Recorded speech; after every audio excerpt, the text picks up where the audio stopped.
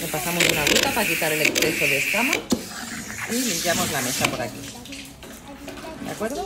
Entonces, cogemos el cuchillo así en diagonal y abrimos de arriba abajo. Rascamos así para la espina y la preparamos para el siguiente paso. ¿Vale?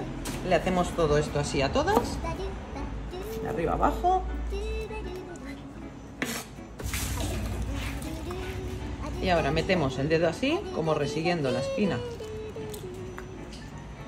Pellizcamos y la sacamos. ¿De acuerdo?